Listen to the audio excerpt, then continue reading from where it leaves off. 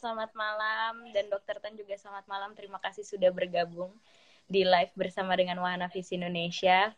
Kita mau coba ngobrol-ngobrol tentang gimana nih supaya tetap bisa sehat di dalam pandemi ini dan gimana sih kita tentang sembako juga ya dok ya kita mau coba bahas tentang ya, itu. Kita juga. mau nyentil yang satu itu. Oke okay, baik. Oke okay, dokter Tan, uh, jadi kan um, teman-teman di rumah gitu ya netizen netizen nih banyak juga yang bertanya gitu. Uh, gimana sih supaya tetap bisa sehat gitu? Kan semuanya uh, di di rumah terus terus udah gitu makanan yang kayak gimana sih? Kan udah mulai bingung juga mungkin ya udah apa ter, udah sebulan nih kayaknya kita uh, work from home gitu. Seperti apa sih? Gimana sih caranya supaya kita tetap bisa menjaga gizi yang baik gitu yang pasti begini, uh, kalau kalian berpikir di rumah itu jadi nggak sehat, itu salah banget. Jadi uh, saya selalu menggunakan istilah yuk kita bikin rencana sebelum jadi bencana ya. Bikin rencana itu artinya apa?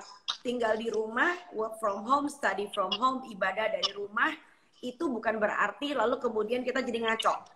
Ya problem besar itu kan ketika kita ada di rumah bangunnya nggak jelas mau kerjanya nggak jelas mau makannya juga nggak jelas ya apa yang dimakan juga nggak jelas jadi semuanya serba nggak jelas jadi masa depan kita jadi nggak jelas ya so itu jadi masalah besar buat kita bersama jadi alangkah baiknya kalau seandainya walaupun kita di rumah, kita tuh punya rencana hidupnya. Seakan-akan kita juga kerja gitu loh. Tapi bedanya kerjanya itu hemat pangkal pelit. Tahu hemat pangkal pelit? Nggak keluar ongkos. Nggak keluar ongkos jalan. Jadi uh, saya sedih banget kalau ngeliat orang itu uh, lupa hari ini Senin atau Selasa. Ya bahkan lupa tanggal. Itu kelihatan banget bahwa kalian itu sebetulnya liburan. Jadi bukan bukan bukan kerja dari rumah bukan kuliah dari rumah gitu loh ya. Saya selalu mengajarkan juga terutama bagi kalian yang masih muda mahasiswa saya juga uh, life as though uh, uh, you are uh, uh, uh, well in in in in your own house gitu loh. Kayak lo tuh nggak ke mana-mana ya cuma di rumah aja gitu loh. Jadi nomor satu misalnya nih walaupun sekarang udah selasa ya lo tau nggak malam ini lo bakal makan apa? Ayo, ya. Jadi ada yang udah jelas nggak malam ini makan apa? Ayo.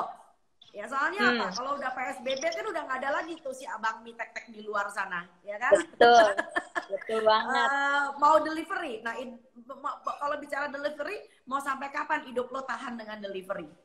Ya, jadi alangkah baiknya kalau seandainya uh, kita tuh punya rencana. Bicara soal makan, mari kita bicara soal uh, rencana hidup deh.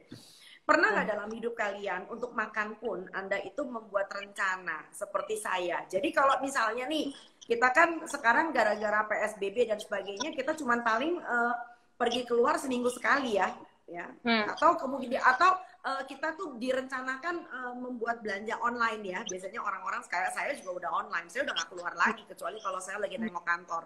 Nah, jadi uh, gimana kalau misalnya per hari Senin gitu loh ya, per hari Senin saya ngeluarin daftar belanjaan saya untuk seminggu. Nah, sebelum seminggu itu kita rencanain mau masak apa, mau bikin apa, tentu kita bisa rencanain juga kita mau makan apa. Ya, saya selalu bikin rencana. Jadi kulkas saya tuh bukan karena saya nyetok panic buying, tapi kulkas saya memang udah biasa penuh karena memang biasanya saya melakukan itu. Ya, jadi okay. misalnya nih uh, ngomong soal makan dulu deh, ngomong soal makan. Kita udah tahu bahwa Indonesia punya namanya isi piringku. Udah tahu ya semua ya. Kita punya program bukan pacar lima sempurna lagi, lo udah kuno. Nah kan, Grace nggak tahu kan? Isi piringku. Isi piringku adalah bagaimana saya punya piring, ya itu dibagi dua, ya. Oke, okay, aku boleh minta tolong nggak, uh, Cila coba bisa tolong ambilin nggak? Uh, aku punya nih gambarannya kalau kalian mau lihat. Nah ini yang membuat kenapa akhirnya uh, kamu nggak jadi, maaf ya, di rumah jadi badannya mekar. itu bahasanya gitu ya.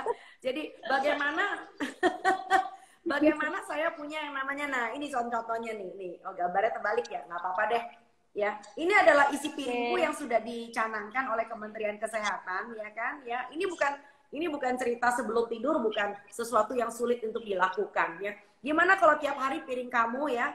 Tiap kali makan bukan cuma tiap hari itu bisa dibagi dua. Tuh lihat tuh ya kita punya sayur sama buah bayangin bayangin kalau cuma sarapan pagi isinya nasi uduk doang segini banyak ya lalu kemudian pakai irisan telur bintang di langit gitu kan Udah kacau ya dari situ udah kacau. Nah, bagaimana dengan isi piringku ini Anda bisa merancangkan menu? Ya, kita bicara tentang lauk sekarang. Ya, lauknya apa? Kalau saya, saya cenderung untuk membuat uh, rencana makan. Jadi misalnya Senin ayam, Selasa tahu, Rebo ikan, Kamis tempe, Jumat jamur dan seterusnya. Dengan demikian kita menjadi lebih hemat kan? Ya, satu hari menunya sama nggak masalah. Karena ya kita bukan restoran kan gitu loh ya. Jadi ya pagi, siang, malam. Jadi ini bukan cuma sekedar untuk kalau kita cuma makan siang. Ini terjadi untuk setiap kali makan. Makan pagi, makan siang, dan makan malam. Hmm. Ya. Nah, dengan Anda punya rencana mau bikin apa, mau masak apa, tentu ketika Anda uh, uh, uh, pesan lewat layanan antar, ya, lewat apa pun aplikasi yang sekarang ada, atau seperti saya titip sama tukang ayam saya, tukang ayam saya keren loh di pasar. Dia mau dititipin beli pete, beli daun singkong, beli labu siam, dia tuh mau, gitu loh. Loh, itu kan ya jadi sekali. pemerataan juga yang biasanya dia cuma jualan ayam, sekarang dia lumayan istilah orang Jawa kayak bati gitu ya dapat nah. dapat ongkos belanja gitu loh. Lalu kemudian dia tinggal titipin barangnya di depan saya punya teras, lalu kemudian di teras saya udah saya sediakan amplop isinya uangnya dia. Jadi seminggu sekali saya bisa melakukan hal seperti itu. Ya itu salah satu contoh contoh yang paling gampang ya. Lalu kemudian uh, Anda bisa tentukan Anda mau bangun jam berapa ya. Buat kalian barangkali yang eh, pagi-pagi uh, harus ada yang sholat, ada yang harus ada ibadah pagi misalkan jadi hmm. jangan sholatnya jalan ibadah pagi habis itu molor lagi. Wah ya kacau gitu loh. Jadi coba okay. deh begitu udah sholat, begitu ibadah pagi, and then apa yang mau anda lakukan? Sarapan itu menu yang pertama. Ya, habis sarapan, hmm. lalu istirahat sebentar, barangkali anda mau olahraga sambil jemur dan sebagainya. Habis itu apa? Mandi. Ya, ini adalah sesuatu hak eksklusif buat kita yang kalau kita kerja kantor nggak bisa kita kerjain kan gitu loh. Anda punya hmm. drama kan? Pagi-pagi ngejar angkot, pagi-pagi mesti naik gojek, segala macam, mesti berangkat ke kantor, nggak punya waktu olahraga, nggak punya waktu jemuran, ais. Sekarang nggak ada alasan. So, abis sarapan Anda punya waktu buat olahraga, buat jemur. Abis itu apa? Mandi. Jangan lupa abis mandi dandan yang cantik. Pakai baju yang bagus, jangan daster. Ya, okay. pakai baju yang bagus. Lalu kemudian Anda mulai connected with the people on the screen Ya, dengan cara demikian lalu Anda mempunyai uh, apa namanya mentalitas kerja yang uh, uh, sangat menyenangkan. Lalu jangan lupa ketika Anda kerja, Anda tentukan Anda mau on the screen itu berapa menit atau berapa jam. Ya, kalau misalnya nih saya cuma betah uh, jam 9 sampai jam 10 setengah 11, fine. So itu adalah waktunya Anda rehat. Nah, Anda bisa minum, Anda bisa stretching sebentar, Anda bisa pergi pipis. Habis itu apa? Hmm. Saya mau on lagi Ya, lalu kemudian apa? Saya mau istirahat makan siang jam 12, jam setengah satu misalnya.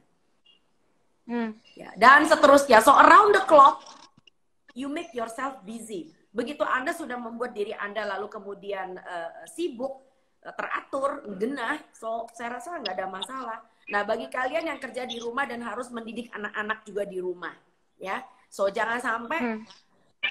itu orang yang kamu kawini katanya orang yang paling kamu cintai loh ya Jangan gara-gara work from home, dia menjadi musuh terbesar kalian di rumah.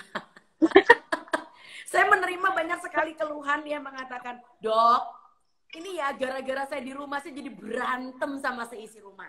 Ya kan? Sama suami saya, sama anak saya.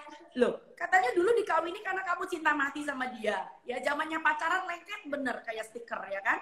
Nah sekarang betul-betul nih sama Tuhan dipersatukan dalam suatu keluarga, dalam rumah dijadiin musuh bebuyutan buat berantem. Ya opo gitu ya jadi ya ini kan kocak banget gitu loh ya.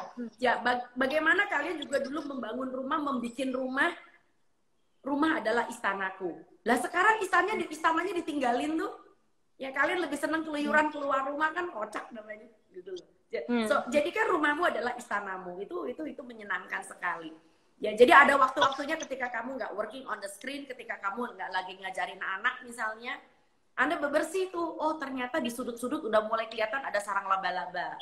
Oh ternyata saya punya pintu, oh engselnya ada yang nggak beres. Itu dalam momen di mana kita sungguh-sungguh mencintai rumah kita sendiri. Saya rasa itu dulu Mbak Gracia.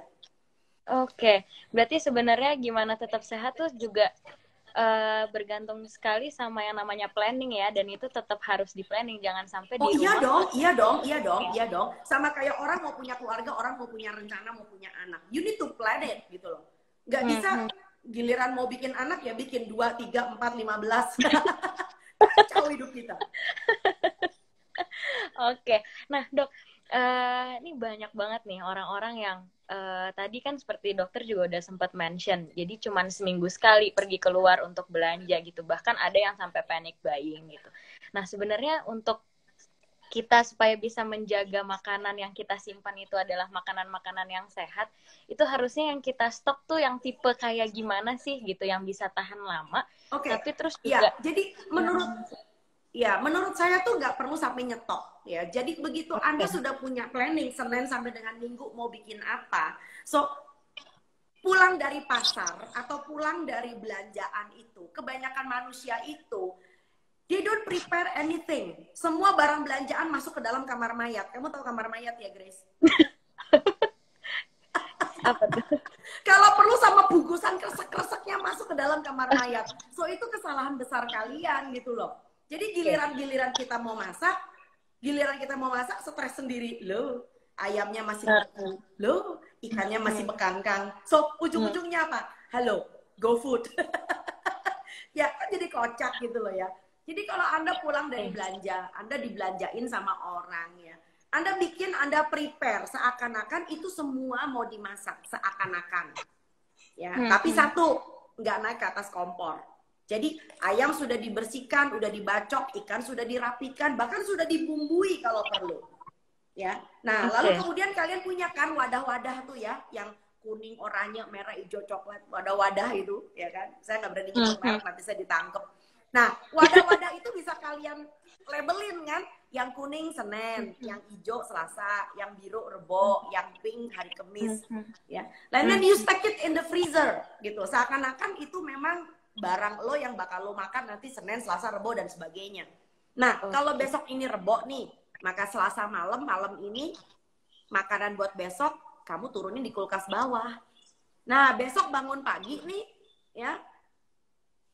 Sebelum Anda mandi, sebelum Anda olahraga, nah itu benda-benda bisa naik ke atas kompor kan? Nah, iya. Iya, olahraganya kelar, mandinya kelar, itu makan siang udah siap. Oh, Oke. Okay. Anda alasan lagi. Jadi yang repot, yang yang yang repot dari orang masak itu sebetulnya bukan waktu masaknya, tapi preparationnya.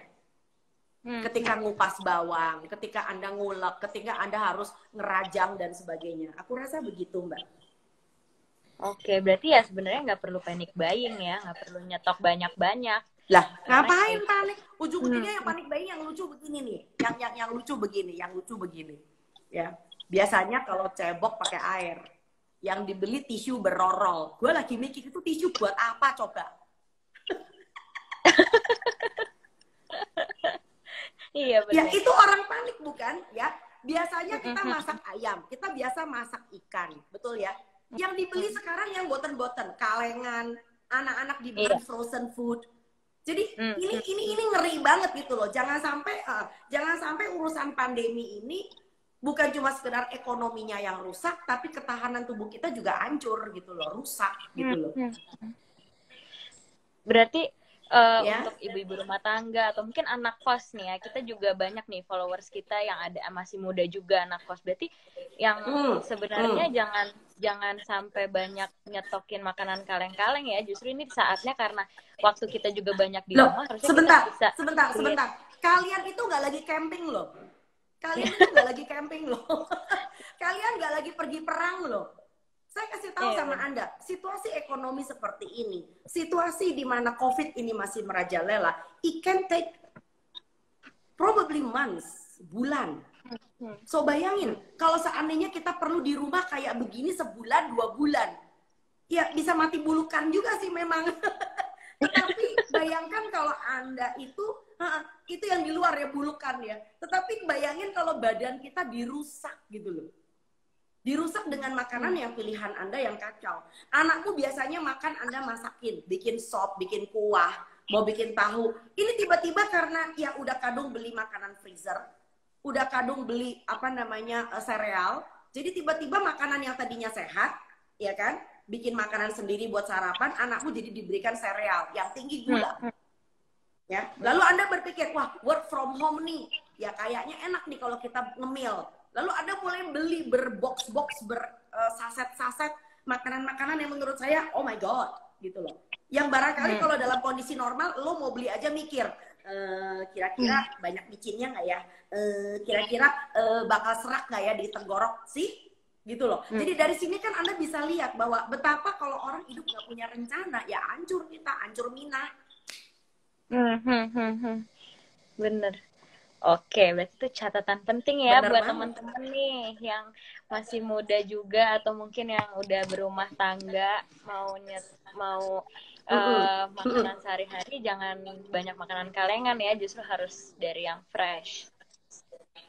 Oke. Okay. Nah, nah satu hal lagi yang saya juga kemarin kemarin dulu udah saya omongin di mana namanya uh, bekerja sama dengan BKKBN ya waktu itu saya diminta minggu yang lalu.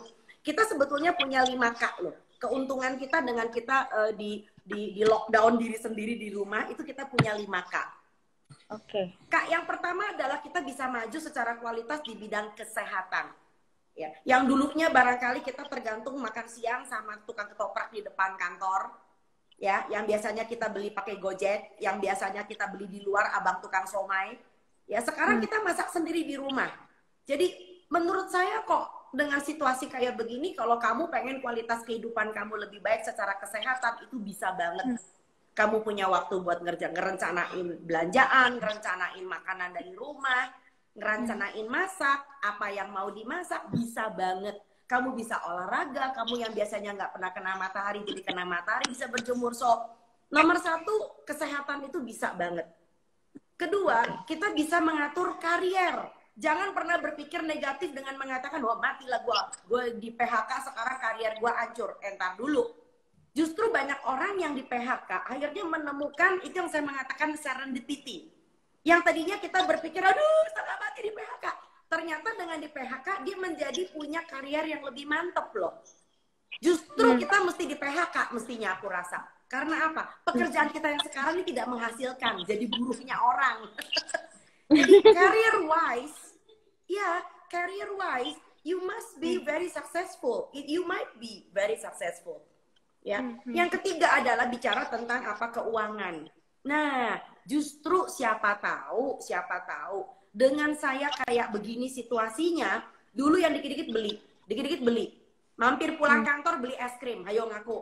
Ya, pulang kantor sebelum lewat eh ya kan betul kan? Mampir ke yeah. apa namanya minimarket, ya kan? ya, beli macam-macam beli beli apa namanya beli scrub lah beli lotion lah sekarang kan iya. jadi kita lebih berhemat loh ya karena kita yeah. juga ngeri dengan situasi kayak begini so secara keuangan kita bisa jadi lebih baik tebak kak yang keempat apa kedekatan kedekatan ya kedekatan itu tidak berarti saya peluk-pelukan sama orang ya justru hmm. saya sama Gracia sekarang jadi lebih dekat karena gara-gara kita live Instagram kita jadi ketemu halo Gracia yeah, yeah. Gitu ya ya barangkali kamu sama mama kamu tadinya cuma WA doang hmm. ya tapi sekarang because you live in a separate place so hmm. anda merasa punya punya keinginan untuk I want to see my mom I want to see my my mom's face gitu loh ya jadi hmm. kedekatan apalagi kalau kalian dipaksa dekat dengan orang satu rumah karena lo kagak bisa ke mana-mana. Hmm. ya, jadi Anda bisa menguji, Anda bisa menguji kedekatan Anda dengan orang. Hmm. Ya, dan yang kelima adalah tentu saja kedermawanan. Lihat nggak dalam situasi kayak sekarang, kita cenderung menjadi lebih dermawan bagi orang yang lebih membutuhkan. Ya. Ya, jadi ada lima k yang sebetulnya sangat beruntung dengan situasi seperti begini. Aku rasa begitu Mbak Gracia. Oke, mungkin aku bisa ulang lagi ya. Tadi ada teman-teman yang baru join. Jadi ada lima yeah. keuntungan nih ya dari Dokter Tan yang tadi mm. bilang di dalam masa eh, pandemi ini adalah kualitas kesehatan. Lalu dalam segi karir juga sebenarnya ini suatu opportunity yang sangat uh, besar buat kita untuk lebih mengetahui diri kita sendiri juga ya dok. Ya. Keluar ya, dari bos kita yang jahat ya, itu. Betul. Terus udah gitu yang ketiga uh, keuangan karena seharusnya kita lebih bisa berhemat. Hemat. Hemat. Terus Hemat begitu semua ditulis, semua dicatat. Lalu yang keempat kedekatan, ya kedekatan sama orang rumah atau misalnya teman yang udah lama nggak kontak jadi kontak gitu ya. Dan yang kelima kedermawanan. Jadi kita uh, emang berasa banget ya masa-masa seperti ini kita jadinya banyak oke okay, bisa bantu apa bisa bantu apa gitu saling kerjasama dengan orang lain. Oke, okay, thank you banget tuh itu keren banget sih lima. si mahal itu. Terus nih dok, uh, aku mau sharing satu nih. Jadi uh, banyak teman-teman aku yang masih muda masih muda ini selalu bilang kan, oh ya mau beli deh makanan sehat atau mau bikinin makanan sehat. Tapi selalu standarnya tuh kayaknya tinggi sehingga mereka banyak juga yang komen makanan sehat tuh mahal. Mungkin aku juga gak ngerti. Mungkin standarnya adalah dari apa yang selama ini kita beli di luar gitu ya, makanan sehat macam salad. Oke, okay, yuk kita kembali ke sini. Gimana tuh? Ya, ya. Yuk kita kembali ke sini, kembali ke sini ya. Kalau Anda bilang makanan uh, sehat hmm. itu mahal, gua cekek beneran. Yuk kita Yuk kita kembali ke sini. Contoh makanan sehat misalnya nih hari Senin, kamu mau bikin apa? Ya, coba misalnya kalau saya kebetulan punyanya nasi, ya udah makannya pakai nasi.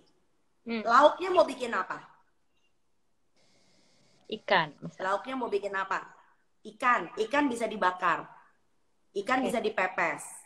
Ikan hmm. bisa digarap, bisa dibikin kalau orang Padang tuh ikan pange ya kan? Hmm. Ikan bisa dibikin ikan kuah asam, nggak selalu goreng. Nah itu yang justru menjadi mahal kalau kamu itu punya begitu banyak peralatan masak, ya semuanya okay. digoreng, ya minyak hmm, hmm. gorengnya habis itu dibuang, ya kan? Karena ketakutan sendiri kan udah dua kali goreng, aduh gimana nih kalau gue kena kanker, iya. ya kan? Udah begitu anda harus pakai pembersih dapur karena kalau menggoreng kan minyaknya nempel di mana-mana, jorok, ya kan? Oke, lalu kemudian buahnya. Buah yang lagi musim apa? Yang selalu musim pepaya, ada pisang. Sekarang lagi hmm. musim manggis. Manggis itu hmm. kaya banget di luar negeri tuh manggis tuh harganya kayak daging asal kalian mau tahu. Jadi hmm. manggis itu sehat banget. Ya, sayur. Kalau ada timun, ada lalap, ada tomat, ya ada kebetulan tukang selada kemarin lagi bagus, why not? Gitu loh ya. So, yang bilang mahal itu siapa? Oke, okay, besoknya lagi yuk kita ganti beras lagi mahal. Baiklah, buat teman-teman yang ada di Indonesia Timur, makanan pokok kita mau pakai apa? Mau pakai ubi, pakai singkong, pakai hmm, sagu. Hmm. Anda barangkali punya talas. Lauknya mau apa? Lauknya hmm. barangkali pas lagi punya telur. Oke, telur tidak selalu diceplok, nggak selalu digoreng. Telur itu hmm. bisa dibuat apa? Bisa dibikin opor. Ya, okay. telur itu bisa dipakai kalau misalnya teman makan buat bikin soto Indonesia hmm. tuh 4 malam 40 macam soto loh. Ya, kita dari punya soto Medan, kita punya namanya soto Padang, turun lagi ke bawah. Kita masih hmm. punya soto Bandung, kita punya soto Betawi, kita punya soto Banjar, kita punya soto Kudus, soto Lamongan, soto Semarang. Ya ampun, banyak. Dia nanya, dok kalau nggak punya, kalau nggak punya apa-apa gimana dok? Oke kita ngomong aku abis ini ya. Lalu buahnya mbak ganti, buahnya apa? Buahnya pisang.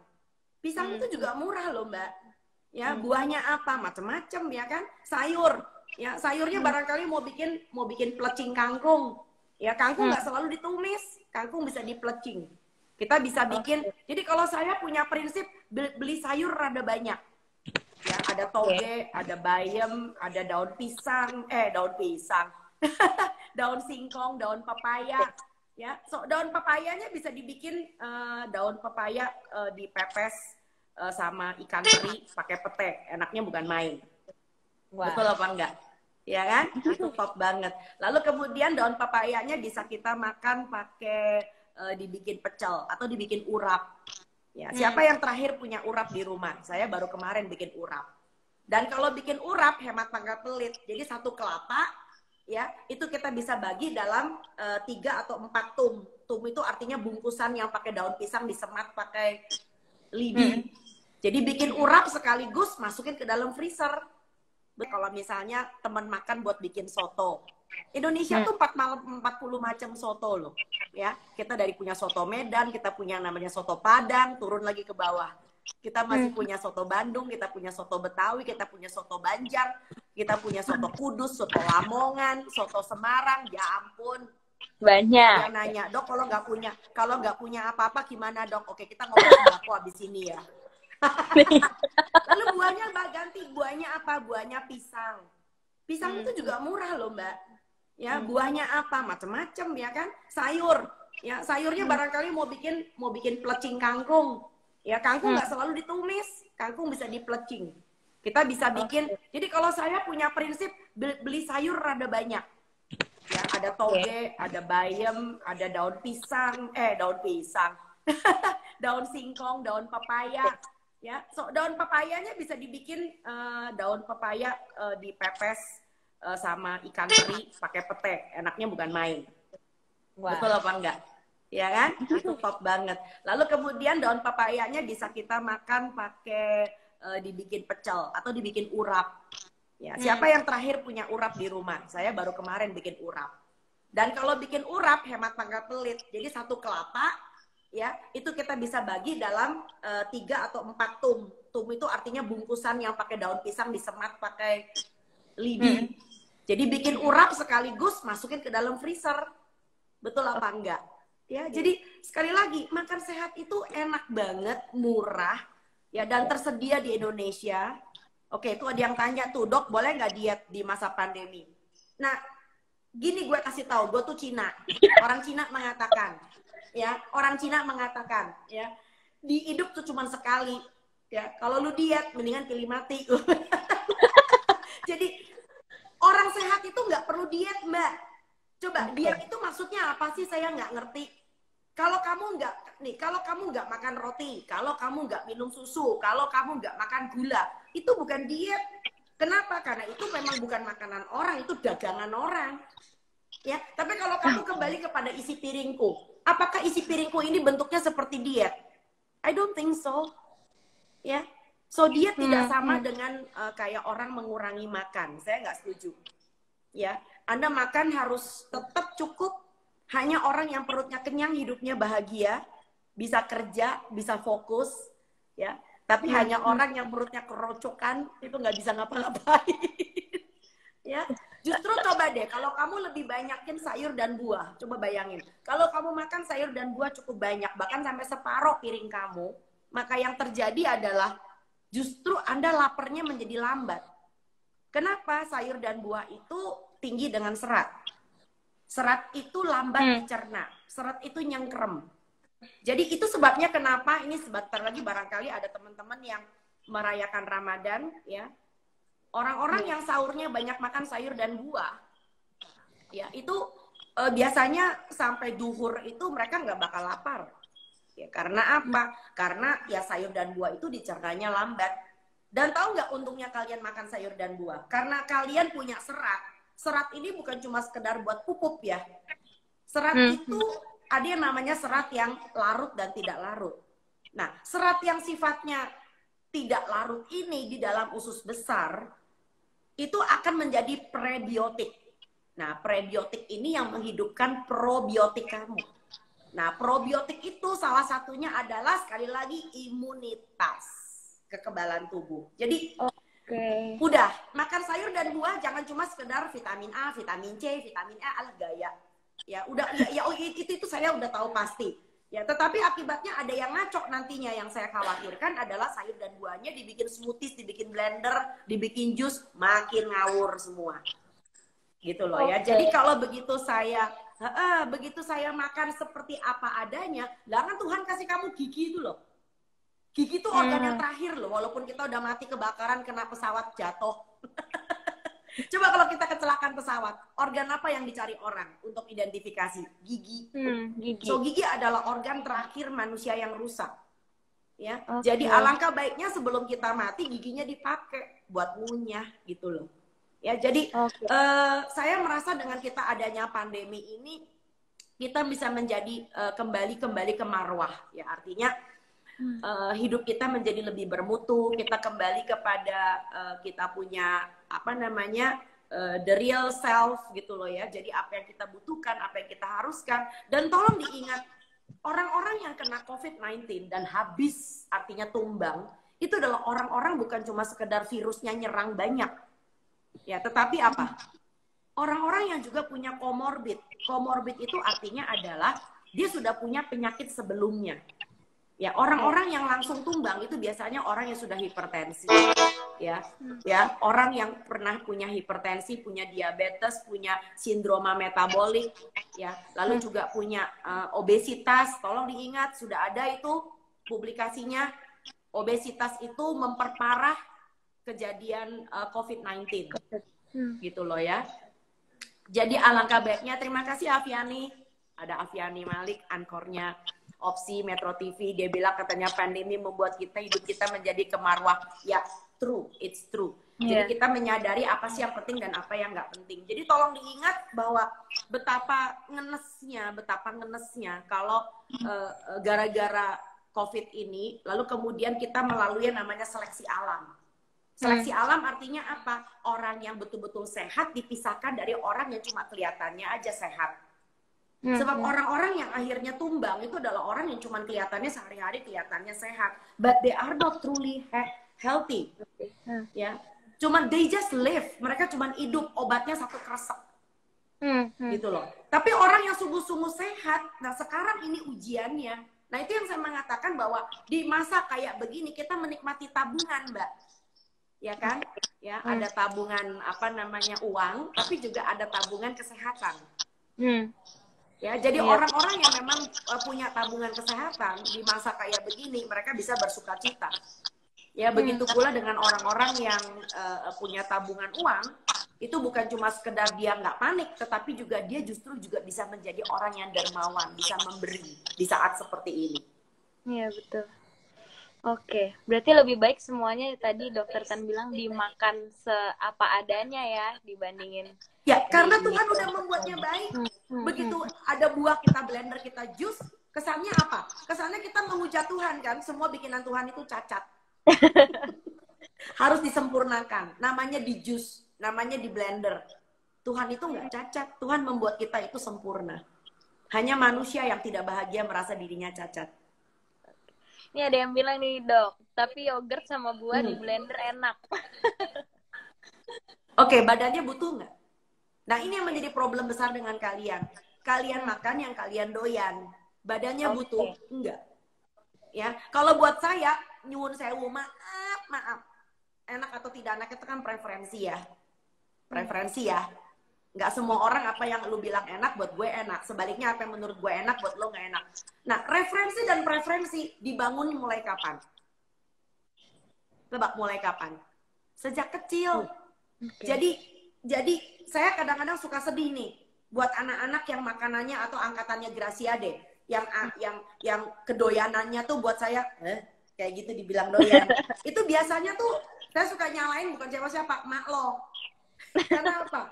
Enak atau tidak enak itu tergantung Anda diajarin, Anda dibiasain apa enggak. Kalau nggak diajarin, nggak dibiasain, nggak ada yang bilang enak. Ya, dan ini merupakan suatu peringatan bagus juga buat calon mama atau yang sudah jadi mamah, mamah muda, Mahmud. Hmm. Jangan sampai nanti suatu hari kamu dikutuk sama anak kamu. Kenapa? Ngajarin yang nggak bener. Ya, ngajarin yang nggak bener itu termasuk pilihan makanan loh. Ya, bayangin kalau anak dari empasinya, makanan pendamping asinya, diberi yang namanya bubuk-bubuk. Ya, mama kelihatannya praktis sih, padahal bikin anak nggak praktis kan. Praktis.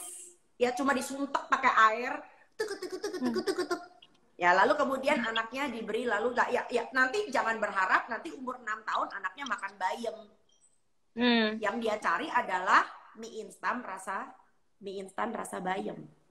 Ya, Iya, karena apa? Dari kecil ya dia pakai bubuk rasa bayam sih, Hmm, gitu hmm. loh. Ya, Oke. jadi sekali lagi aku rasa kok ini penting banget. Oke, dok tadi ada yang nanya nih, kalau misalnya makanan itu dimasak lalu disimpan di freezer baru terus dipanasin lagi besok besoknya apakah oke nggak kalau Oke, kayak- tentu yang eh, nah sebetulnya nggak ada masalah ya. Kita juga mempunyai yang namanya leftovers, artinya Hmm. sisa makanan. Prinsipnya Hmm. cuma sekali, makanan itu nggak bisa diangetin berulang. Jadi kalau misalnya nih, misalnya nih, hari ini saya masak ayam kebetulan banyak. Udah ada ayam, saya punya tahu. Ya, dua-duanya nggak habis nih.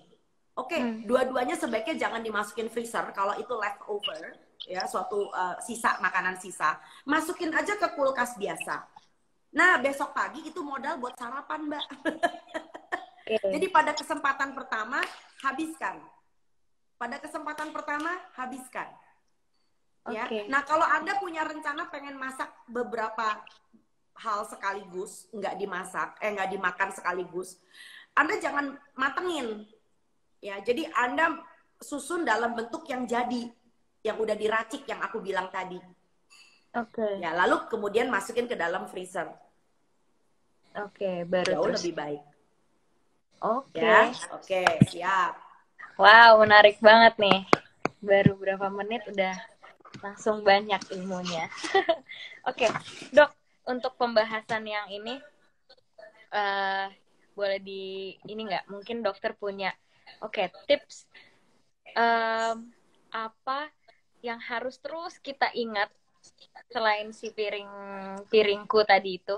Pokoknya yang selalu harus ada di dalam pikiran kita ketika kita mau uh, membuat makanan atau berpikir untuk uh, membuat makanan yang bergizi gitu untuk kita sehari-hari.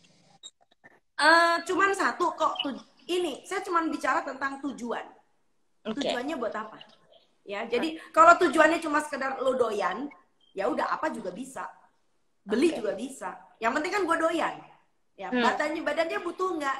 Enggak. Badannya nggak butuh, itu yang sial gitu loh ya. Nah, orang itu butuhnya apa? Kita butuh karbohidrat, kita butuh protein, kita butuh lemak. Ya, karbohidrat yang baik, saya udah bilang tadi. Usahakan bukan rafinasi. Ya, rafinasi itu apa? Rafinasi itu adalah uh, suatu bahan makanan yang tadinya dari alam, tetapi hmm. melalui proses pabrik. Ya, sehingga hmm. dia menjadi sudah strip off, udah terlucuti jadi kalau beras udah jadi beras putih, mengkilap kristal, pulen, ya. Kalau hmm. gandum udah jadi tepung, tepung terigu. Apalagi kalau udah jadi gula pasir. So, nomor satu adalah karbohidrat kamu bukan rafinasi. Ya, jadi okay. rotasi aja. Senin makan beras, Senin makan nasi merah, Selasa ubi, Rebo singkong, Kemis jagung, hari Jumat tales, hari Sabtu kentang dan seterusnya. Hmm. Rotasi. Kedua, kita bicara protein. Protein biasanya muncul dalam bentuk lauk ya. Nah, hmm. usahakan lauk itu tidak sekali lagi dengan digoreng. Tinggi garam, tinggi lemak, tinggi tinggi gula. Ya, usahakan untuk tidak menggunakan kayak misalnya harus dikit-dikit pakai gula, harus dikit-dikit pakai kecap, harus digoreng. Tidak. Ya, sebab banyak banget orang bikin soto nggak perlu ditumis juga. Soto bumbunya bisa disangrai dengan api kecil. Habis itu tuang deh kuah ayamnya. Betul apa enggak? ya ikan ikan nggak selalu harus digoreng sekali lagi hmm. saya udah bilang ikan bisa dipepes ikan bisa ikan bakar bungkus pakai daun hmm. sedep banget tuh makan pakai sambal pete wah ikan masih bisa dibikin ikan kuah asam ya ikan hmm. kuning ya kan hmm. ikan masih bisa dibikin apa lagi bisa dibikin bakso ikan coba iseng deh bikin bakso ikan ya bakso ikan tidak butuh aci kalau aci itu karena si engkok yang bikin pengen untung jadi acinya banyak ikannya dikit Ya, kalau kita bikin buat diri kita sendiri, masa ya kita nguntungin tukang aci? Tentu iya, kita bikin ayamnya atau ikannya jadi lebih banyak dan lebih padat. Betul ya? Ya, okay. ayam juga sama. Ayam itu nggak cuma digoreng. Ayam bisa dipepes, bisa disot, disoto. Ayam digarang asem. Ayam bisa dibikin apa namanya kari. Ayam bisa dibikin opor seperti itu. Nah, bicara soal lemak. Kebutuhan yang ketiga lemak ya. Iya. Lemak itu tidak sama dengan minyak goreng lemak itu ada di mana-mana. Sebab kalau misalnya kamu makan ikan laut, ikan laut itu selalu punya namanya omega 3 dan itu adalah lemak. Ya. Kamu masak pakai kemiri misalnya buat bumbu soto atau buat bumbu pepes. Kemiri juga lemak bukan? Kan kacang. Semua produk kacang itu adalah lemak, Mbak. Oke. Okay. Ya. Anda bikin gado-gado pakai kacang lagi. Nggak usah digoreng, sangrai kacangnya. Hemat hmm. pangkal pelit. atau masukin ke dalam oven yang anak kos nggak usah bayar listrik kan, pakai ovennya si tante. ya makanya, jadi ini penting banget nih, ya. Ya, okay. lemak ada juga di mana di kuning telur. Kuning telur tuh ada lemaknya. Ya, hmm. Lemak ada di mana lagi? Lemak ada di alpukat. Alpukat ini betul-betul lagi musim. Jangan kehilangan. Hmm. Ya, hmm. jadi lemak itu ada di mana-mana, Mbak. Nih ada yang nanya nih, tren kunyit, jahe, serai, apa segala macam. Halah, udah deh Ya, orang supaya nggak kena COVID itu karena apa? Nomor satu, kamu nggak keluyuran. Ya, kamu di rumah. Sebab gini loh Mbak, begitu saya berhenti, virusnya juga berhenti. Ya, karena problemnya adalah problemnya adalah Anda pakai masker, Anda pakai sarung tangan, Anda banjur mukanya pakai antiseptik. Hmm. Ya, sampai asap semua. It doesn't make sense. Hmm. Karena apa? Karena virusnya itu ada di badan saya virusnya ada di dalam tenggorok saya. So you hmm. bring the virus around. Hmm, hmm. Ya, jadi yang paling penting adalah kita berhentiin virusnya di rumah nggak ke mana-mana dan di rumah itu mempertahankan gaya hidup bersih dan sehat. Okay. Ya, cuci tangan pakai sabun, nggak usah bawa-bawa hand sanitizer kan? Ya kan di rumah udah pakai sabun bisa ada air kan? Oke. Okay. Ya, anak kos kan nggak usah bayar air kan? Tante yeah. kos yang bayar kan? Ya udah. Ya, jadi ya seperti itu. Begitu kamu di rumah, you are safe. Ya, karena apa? Karena kita nggak pernah tahu saya adalah OTG. Siapa tuh OTG? Saya adalah orang tanpa gejala Hmm, hmm. Itu loh ya. Ya, bisa jadi penular virusnya adalah saya. Yeah. Jadi dengan saya tidak ke mana-mana, bukan berarti saya takut ketempelan virusnya orang, tetapi hmm. saya jaga diri supaya saya tidak menjadi penularnya. Oke. Okay. Ya, oke. Okay. Ada Mbak Cila yang nanya nih, home cooked food yang banyak dijual, gimana pendapat dokter? Dengerin, orang jual makanan itu bukan hmm. supaya lo jadi sehat, supaya hmm. lo balik lagi, balik lagi ke dia. ya so barangkali yang dia bilang sehat itu versi siapa? Versi yang jual. Saya pernah lihat loh ada orang mengatakan home cooking food ya. Ya hmm. ujung-ujungnya apa? Supaya anak dia tambahin gula. So dia mengaku saya nggak pakai MSG saya nggak pakai vetsin tapi gantinya vetsin dia kasih gula. Ya hmm. sama aja kan? Ya dan yang kedua lo nggak pernah tahu kan si tante pakai bumbu dari mana kalau kita kan kalau masak sendiri ketil banget kan bawang merah kita pilihin jahe kita pilihin nggak yang berbuluk-buluk. Lah menurut lo kalau dia catering dia masak buat 10 keluarga buat 100 hmm. kantor. So menurut kamu dia betul nggak sampai jeli? Dia pilihin bawangnya dia pilihin itu yang namanya tomat sama sekali nggak ada buluknya. Wait dia beli kiloan. Nggak ada waktu mikirin kayak begitu lu juga kagak ngerti kan dia ngejemur apa dia nyucinya pakai air comberan atau pakai apa jijik kan Berikutnya lagi, lo juga nggak pernah tahu kan dia masaknya pakai teflon yang udah baret. Hmm. Kebayang nggak teflon baret itu artinya apa? Nah itu dia. Belum lagi kamu bicara soal kemasan. Kita nggak pernah tahu. Ya, udah gitu dikemas hemat bakal pelit ya, nggak pakai styrofoam. Lu udah pada parno kan styrofoam. Tapi kalian pakai yang apa namanya? Itu loh yang kayak buat nasi bungkus kertas coklat dalamnya ada plastik. Hmm. Kebayang nggak itu apaan? Nah, coba itu. Hmm. Ya, jadi there is no love outside of your house. Love is residing in your own home. wow. Home is where love comes from. Wow. Oke. Okay. Kayaknya kita mau ngomong soal sembako deh. Iya, boleh, boleh. Gimana tuh, Dok? Menit-menit terakhir. Oke. Okay. Saya tidak tahu Banyak kalian pernah mendapatkan uh, uh, istilah sembako itu uh, dari mana ya dari Kementerian uh, apa namanya PMK ya jadi Menko PMK ya kita punya uh, uh, istilah sembako itu ada disebut dengan sembako 2020 ya bahwa kalau kalian bisa anda Google barangkali anda bisa download PDF-nya versi PDF ya. Yang disebut dengan uh, sembako 2020 pilih yang versi PDF di situ kelihatan banget bahwa yang disebut sembako itu prinsipnya adalah hidup uh, uh, uh, apa namanya bahan-bahan pokok ya. Saya nggak tahu mau 9 mau 5 mau 10 nggak penting. Tapi itu udah kadung jadi istilah. Yang membuat kita hidupnya itu menjadi tertunjang. Yang mana sembako ini sebetulnya di, dikawinkan di link itu dengan i-warung Nah, ini tujuan sembako pada awalnya adalah meningkatkan keberdayaan masyarakat secara ekonomi. Saya masih ingat zamannya Ibu Kofifa Indar Parawangsa menjadi Menteri Sosial.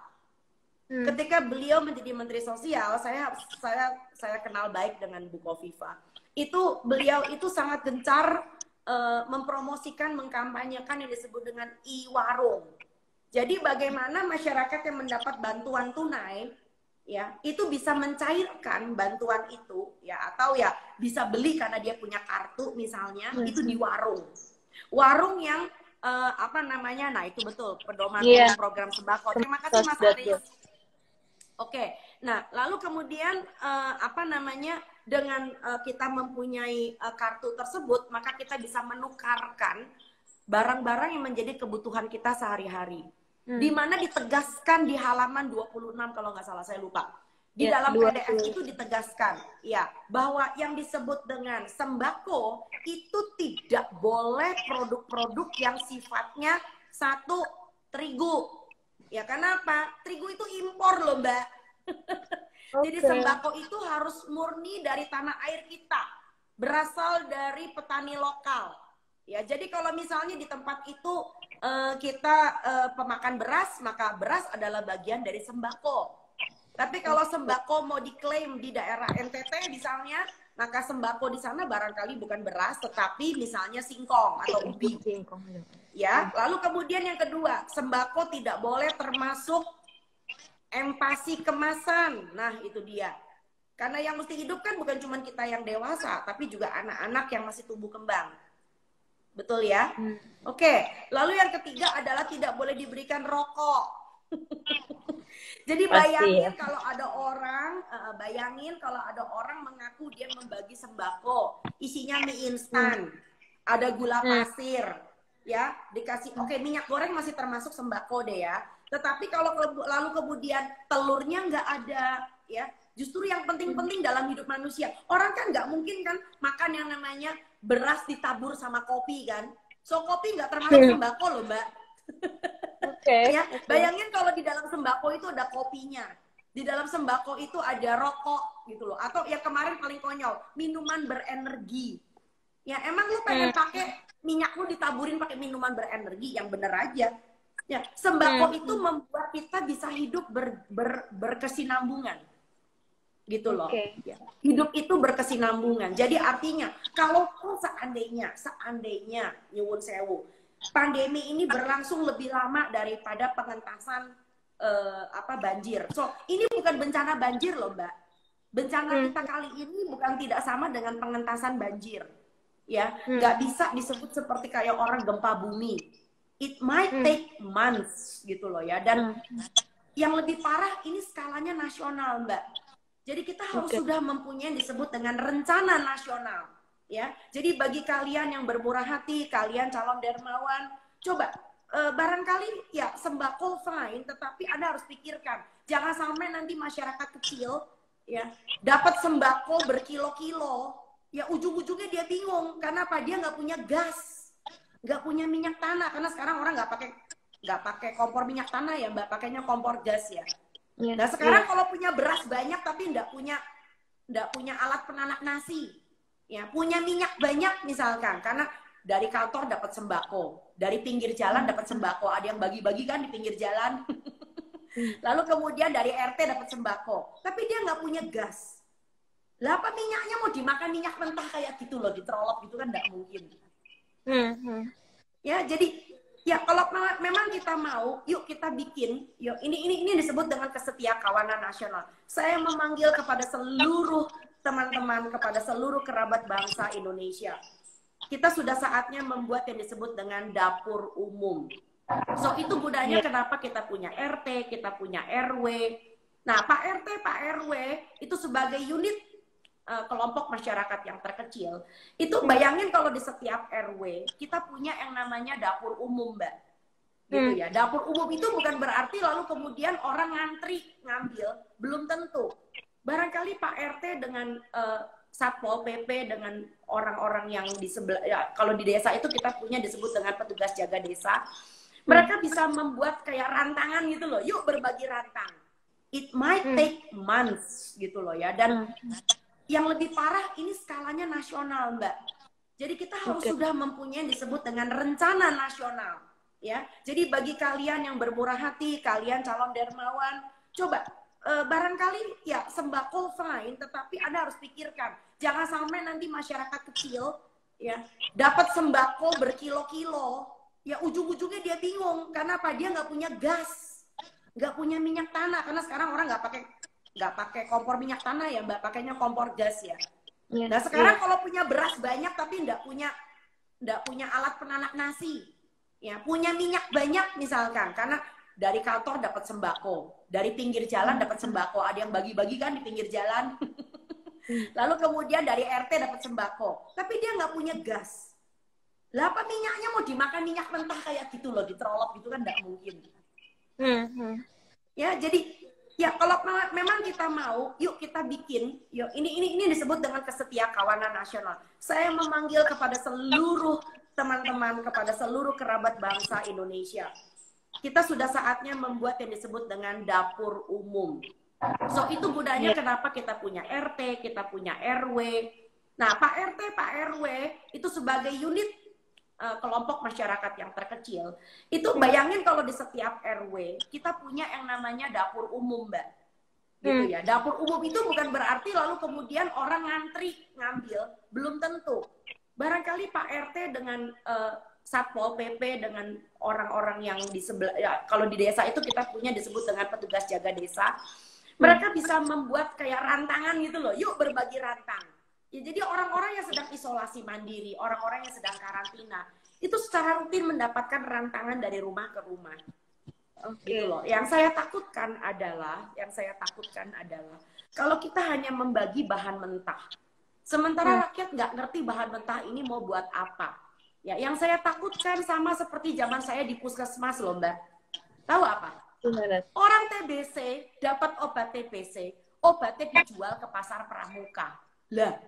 Waduh. Hmm. Lah, iya karena dia pikir apa? Loh, saya kan udah sehat, udah nggak batuk lagi. Hmm. Tapi dari puskesmas dapat obat TBC 6 bulan. Tebak, hmm. obat 6 bulan buat apa? Iya buat beli rokok. Dijual lagi ya? Buat beli mie instan. Nah, dijual tuh pasar pramuka. Dulu zamannya obat-obat askes So, jangan sampai, jangan sampai nih orang yang hari ini kita sebut sebagai kelompok masyarakat miskin, ya, atau yang mendapat dana bantuan, itu di belakang rumahnya itu ada satu kintal beras loh, Mbak. ya, karena apa? Dapat dari mana-mana, gitu loh. Tapi kita nggak berpikir berasnya ini bagaimana bisa mereka masak, bagaimana mereka bisa makan. Hmm ya. Oke. Jadi sekali Berarti... lagi uh, bangsa ini harus bangkit dan caranya kita bangkit adalah kita menggunakan akal sehat. Yang nggak cukup rakyat cuma dikasih beras, minyak, gula dan apa pun itu dan nggak hmm. mungkin orang bisa makan seperti itu setiap hari. Hmm. Justru yang kita perlu berdayakan adalah rantai makanan dari desa, dari nelayan, dari petani, dari orang-orang yang berkebun, dari peternakan tidak boleh putus jadi kita harus memastikan rakyat di desa yang barangkali tidak tercemar dengan COVID ini, ya, hmm. itu menjadi orang-orang yang justru sekarang menjadi tulang punggung bangsa ini untuk hmm. menghidupi dirinya.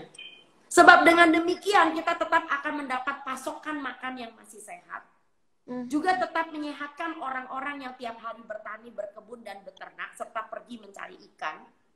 Ya, dan dengan demikian maka kita sekarang disehatkan oleh orang desa, Mbak. Hmm. Ya. Karena epicentrum epicentrum virus ini kan adanya di perkotaan. Iya, betul. Gitu loh.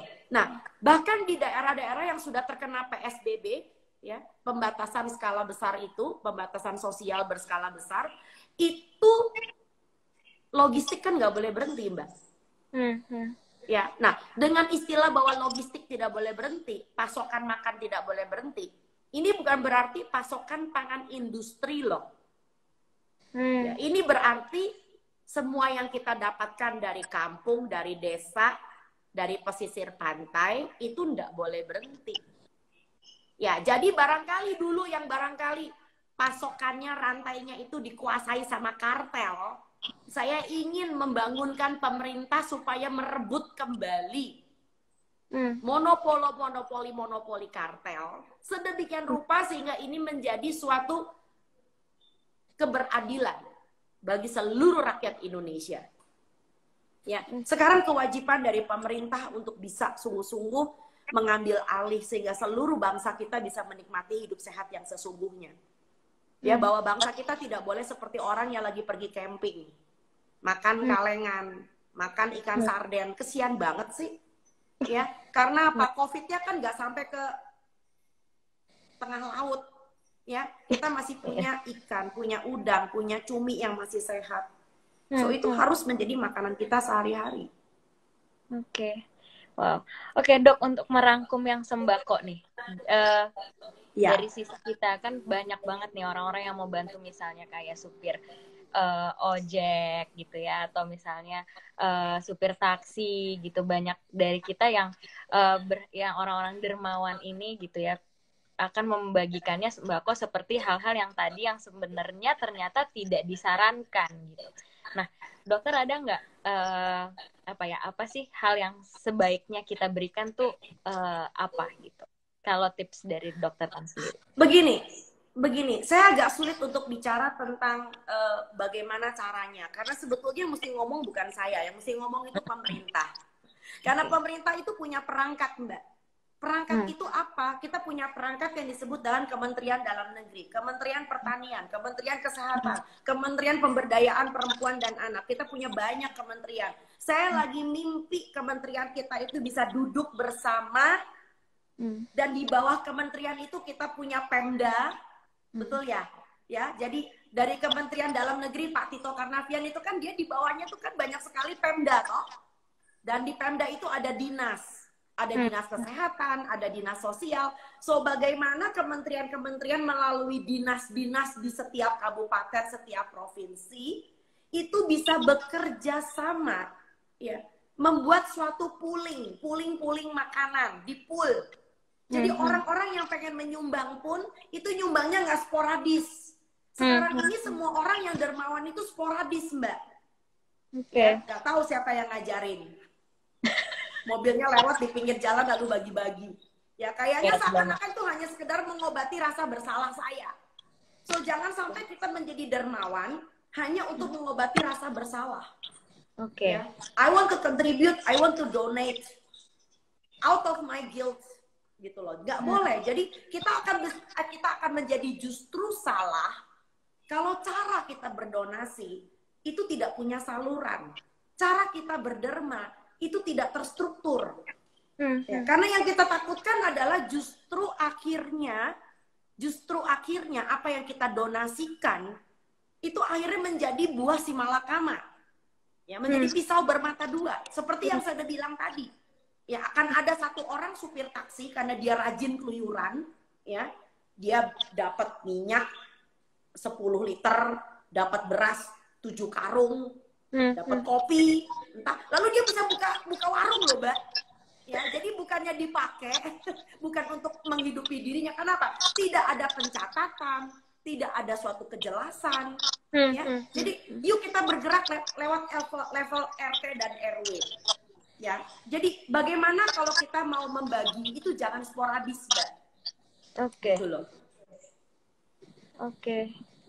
ya wow mantap sekali jadi jangan sampai kita menjadi dermawan just out of our guilt ya. Ya benar-benar harus terstruktur Betul. dan kita Jadi juga kita tidak boleh menyumbang hanya sekedar untuk mengobati rasa bersalah. Betul. Hmm, hmm, hmm, hmm. Ya. Setuju sekali. Wow, amazing. Mungkin teman-teman bisa saling tepuk tangan ya buat dokter Tan di rumah masing-masing. Banyak banget insight-insight baru. Tepuk tangan buat kalian semua. Ada 122 mata yang melihat kita hari ini.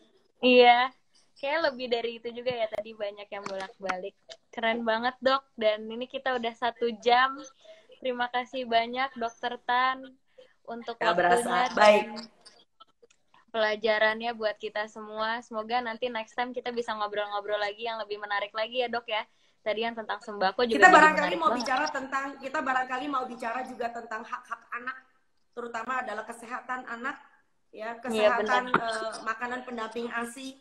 Justru ini adalah Betul. saat ketika ibu-ibu harus kembali, ibu-ibu harus kembali hmm. menyusui anaknya secara eksklusif, nggak ada ya. alasan, ya karena apa? Karena ini adalah momen ibu di rumah nggak ke mana-mana, ya mumpung hmm. ada suami bisa bantuin cuci cuci pakaian, nyetrika, ya. Hmm. Karena hmm. ibu yang bahagia adalah ibu yang bisa menyusui anaknya secara full ya hmm. karena begitu anda di rumah anda tenang maka nggak ada cerita bahwa air susu anda itu akan kurang sama sekali tidak ada cerita hmm. ya hmm. susui anakmu dengan baik buatlah makanan pendamping asi yang sehat dan uh, ya kita punya keluarga yang jauh lebih sehat karena kita punya wabah satu ini jadi biarkan demitnya pergi cepet-cepet Amin. Oke, okay, we love you all. Stay Thank safe. you banget ya dokter ya. Sekali lagi.